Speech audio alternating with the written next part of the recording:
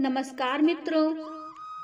मित्रों, राजस्थान में भगवान श्री कृष्ण के एक दयालु भक्त रहते थे। उनका नाम था महेश चंद्र। उनकी दवाइयों की दुकान थी। उनकी दुकान में भगवान श्री कृष्ण की एक छोटी सी तस्वीर एक कोने में लगी रहती थी। महेश जब दुकान खोलते, तब सफ़ाई के उपरांत हाथ धोकर नित्य भगवान की तस्वीर को साफ़ करते और बड़ी ही श्रद्धा से धूप, दीप दिखाते। महेश का एक पुत्र भी था। उसका नाम मिंटू था, जो अपनी पढ़ाई पूरी करके उनके ही साथ दुकान पर बैठा करता था। वह भी अपने माता पिता को ये सब करते हुए देखा करता था। क्योंकि वह एक नए जमाने का पढ़ा लिखा नवयुवक था, इसलिए अपने माता पिता को समझाता रहता था कि भगवान वगैरह कुछ नहीं होते, सब मन का बहम है। पिताजी, ये साइंस का जमाना है। पिताजी उसको स्नेह भरी दृष्टि से देखते और मुस्कुराकर रह जाते। वे इस विषय पर तर्क वितर्क नहीं करना चाहते थे। समय बीतता गया। पिताजी बूढ़े हो गए। शायद वे ये समझ चुके थे कि अब उनका अंत समय निकट आ गया है। एक दिन महेश ने अपने बेटे मिंटू से कहा, बेटा तुम ईश्वर को मानो या मत मानो, मेरे लिए तो ये ही काफ़ी है कि तुम एक मेहनती, दयालु और सच्चे इंसान हो।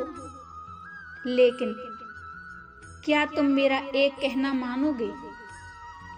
बेटे ने झट से कहा, कहिए ना पिताजी, ज़रूर मानूँगा। पिताजी ने कहा, बेटा, मेरे जाने के बाद एक तो तुम दुकान में रोज भगवान की इस तस्वीर को साफ़ करना। और दूसरा, यदि कभी किसी परेशानी में फंस जाओ तो हाथ जोड़कर भगवान श्री कृष्ण से अपनी समस्या कह देना।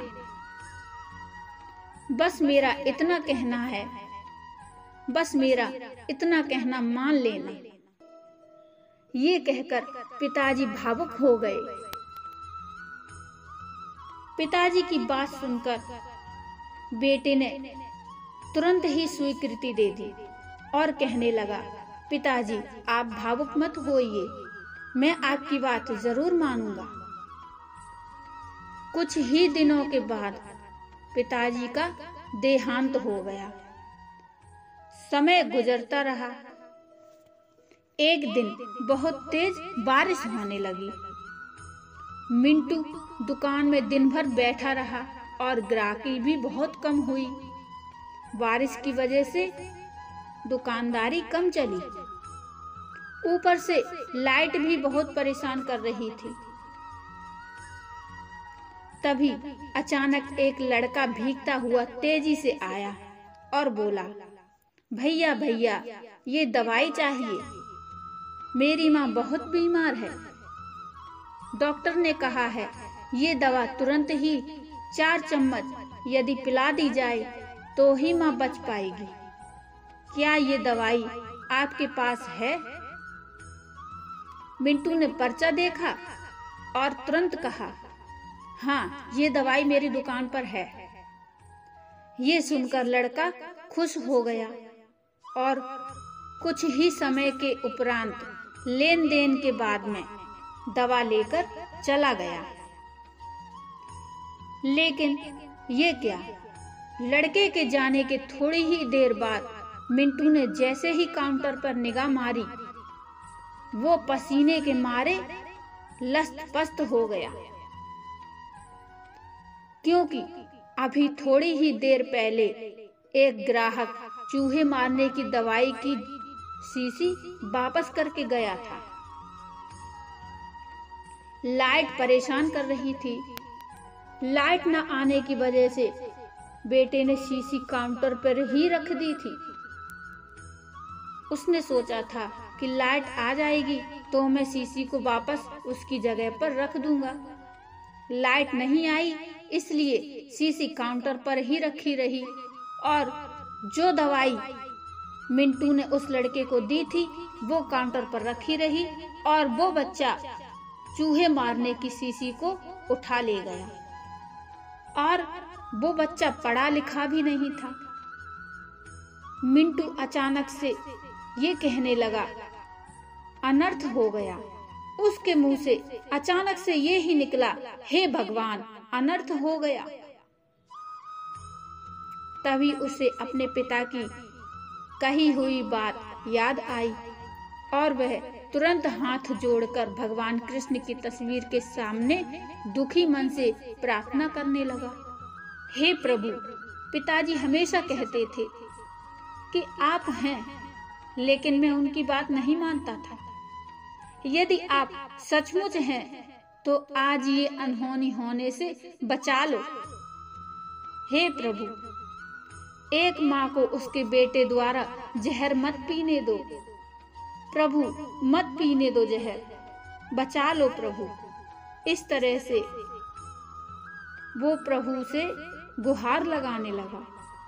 तभी पीछे से आवाज़ आई, भैया भैया।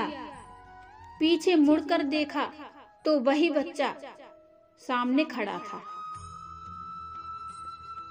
और कह रहा था, कीचड़ की वजह से मैं फिसल गया दवा की शीशी भी फूट गई। कृपया आप एक दूसरी शीशी दे दीजिए। ये सुनकर बेटे की आँखों से झरझर आँसू बहने लगे। वो खुश हो गया और भगवान की मनमोहक मुस्कान से भरी तस्वीर को देखकर रोए जा रहा था। अब उसके भीतर एक विश्वास जाग गया था कि कोई तो है जो सृष्टि चलाता है, जिसे कोई भगवान कहता है तो कोई ईश्वर कहता है, कोई सर्वव्यापी कहता है तो कोई परमात्मा कहता है। मित्रों, प्रेम और भक्ति से भरे हृदय से की गई प्रार्थना कभी अनसुनी नहीं रहती। भगवान श्रद्धा भाव के भूखे हैं। एक बार अपनी प्रार्थना श्रद्धा भाव से करके तो देखिए। मित्रों, कहानी यदि अच्छी लगी हो तो लाइक कर दीजिए और चैनल को सब्सक्राइब भी कर लीजिए। सब्सक्राइब करते समय घंटी ज़रूर दबाइए, जिससे आपको हमारी नोटिफिकेशन मिलती रहेंगी। साथियों मिलते हैं फिर एक और भक्ति में कहानी लेकर, प्रेरणादायक कहानी लेकर। तब तक के लिए नमस्कार। जय श्री कृष्ण।